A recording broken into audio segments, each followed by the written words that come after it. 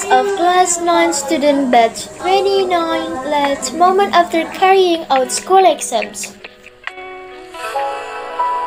Creating happy and sad memories for their students.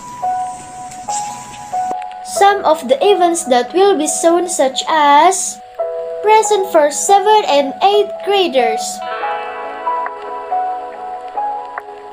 There are also offering from 9th grade friends as well as offering from the teachers.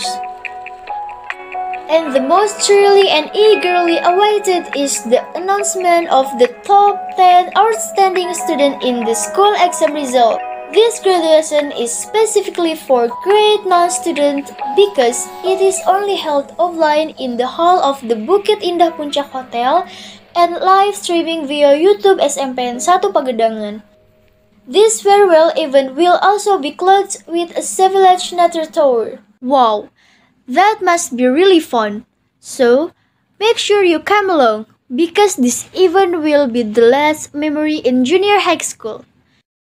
So, Stay tuned!